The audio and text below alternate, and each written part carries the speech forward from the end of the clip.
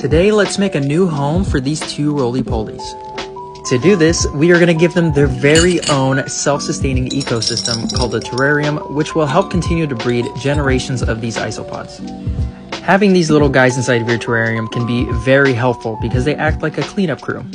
They love to eat dead plant material which can help prevent nasty stuff like fungal growth, keeping our terrarium mold free. If you're not a bug person, these guys are not mandatory at all for keeping a terrarium alive. But when you start working with more plants and bigger containers, they make a huge difference in the longevity of your terrarium.